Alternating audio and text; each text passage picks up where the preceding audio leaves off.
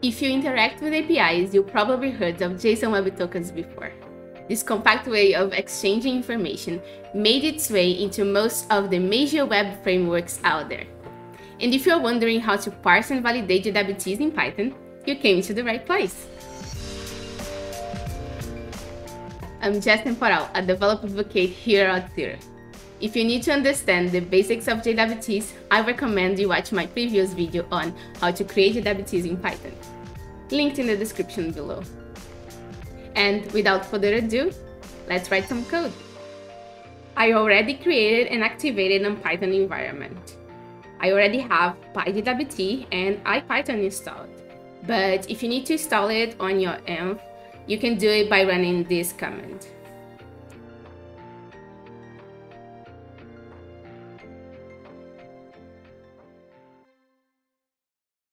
This will install all you need.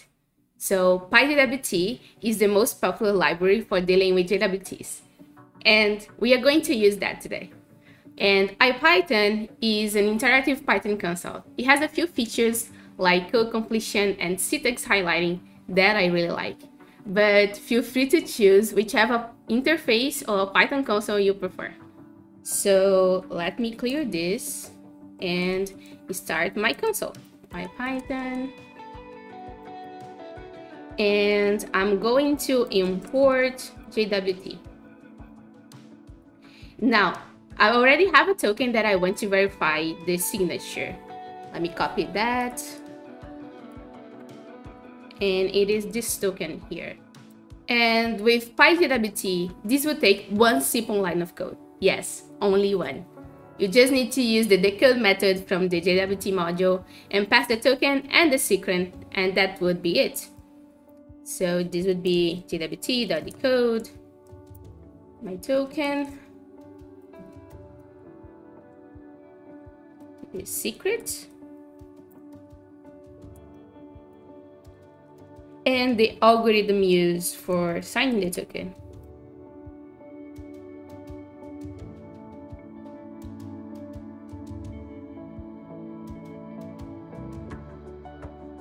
Of course, this only takes one line of code because I already know everything there is to know about this token.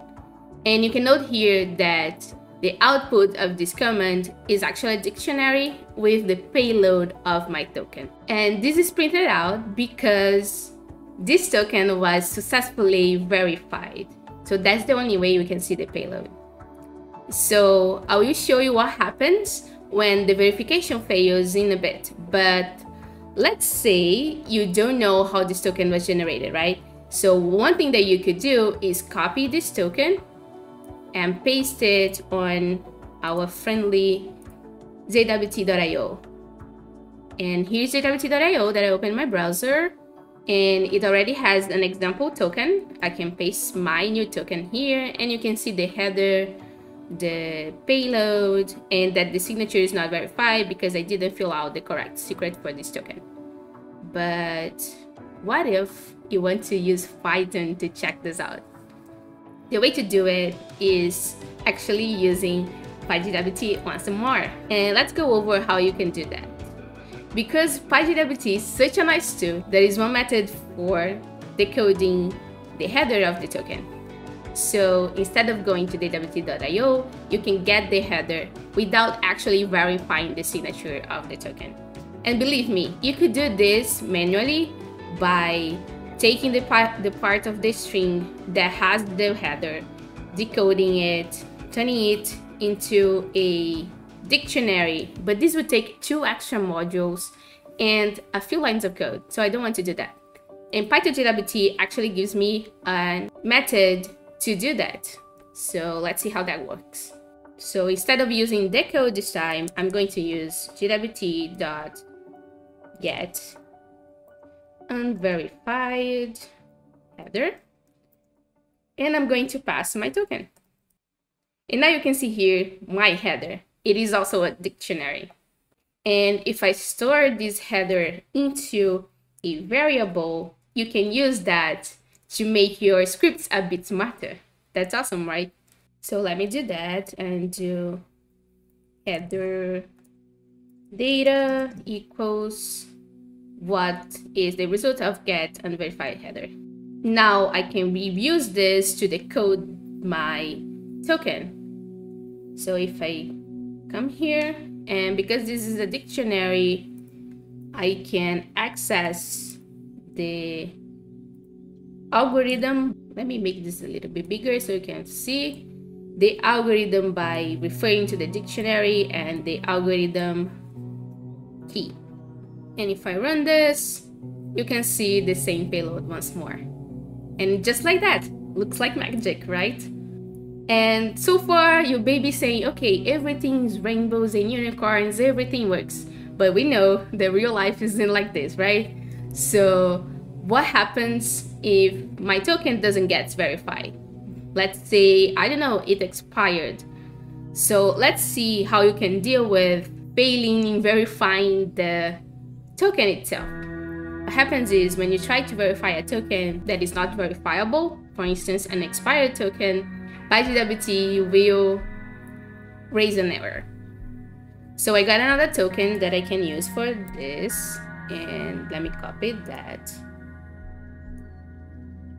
And I'm also going to copy the code that I already got. Okay, so this token here actually has an expiration date set in the past from today. And because it is expired, when I try to decode it, it's going to give an error. So let's see what happens. And you can see here, it gives me the expired signature error. And if I scroll up, because IPython shows a very detailed traceback, it shows the error happened when I try to use the decode method. Awesome.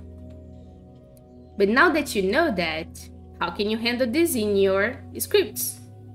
So one way to do it is actually using the errors that comes with PyJWT. And what I can do is actually importing them from the exceptions module. And I'm going to import this expired signature error specific error. And now I can do a try except clause to deal with these errors when they happen. So my code would look a little bit like this.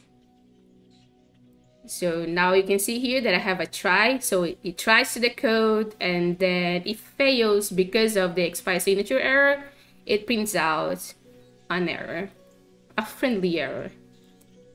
So if I run this, and you can see here that instead of having that enormous traceback, I can see that the signature is expired. Awesome. Now, if you need more details on the steps that are required for validating or verifying your tokens, I recommend you read Auth0's documentation on the subject that is linked in the description below. Now, before I finish this video, I want to make sure that you know how to verify the signature of your token if we use an asymmetric algorithm. And if you don't know what that is, that's okay. An asymmetric algorithm like RS-256 is one algorithm that uses a private key for signing and a public key for verifying the signature.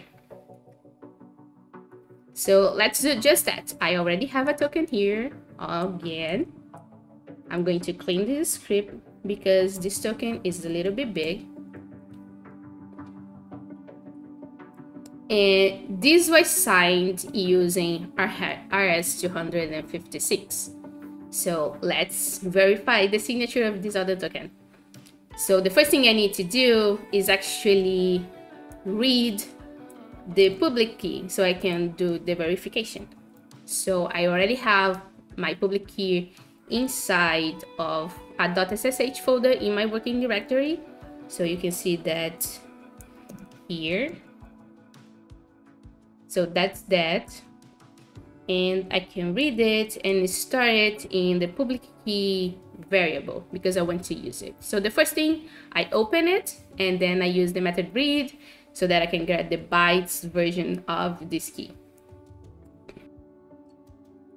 And after that, I need to do two more steps. So it is important to know that this particular key was generated using SSH Keygen 2.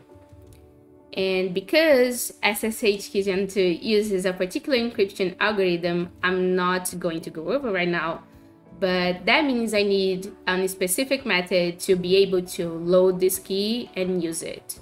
So that takes me to the second step after this one. That is to import the method I need to use to read this key. So this comes from the serialization module from the cryptography package. And the way to do it is actually do from cryptography and I want the module hazmat, hazmat primitives, and I can import the serialization. Now what I need to do is actually load this key using the serialization module. So to do that, I'm going to save my key into a key variable because I want to use it later. And I'm going to call the serialization dot load. And you can see here, I have a number of loading methods and the one that I want is actually SSH public key. So what I need to do is pass the bytes version of my key because the read method gave me a string and the load SSH public keys actually requires a bytes object. So the way to do this is using encode the string built-in method. So I'm going to do that here and once I run this I get the loaded version of my public key and now I can use this key to actually verify my token so let's do that once more and I'm going to copy my code for my notes and now I get it so you can see here that instead of using a secret I now using my key and I updated the algorithms list to reflect the algorithm used. And now you see the result of my verification. And that's it. You just verified the JWT signed with a symmetric algorithm. Yay you! That's all for today, folks. Now you know all the necessary steps needed to validate your JWTs in Python. If you have any questions and want to see more videos like this here in the channel, leave a comment down below. Also, remember to subscribe to the channel and check out the link section in the description of this video. There you'll find a link for the GitHub repo with all the code that I showed today, a blog post on the same topic, and a link for the JWT handbook in case you need more in-depth resources on JWTs. Thank you for watching and I'll see you soon. Bye!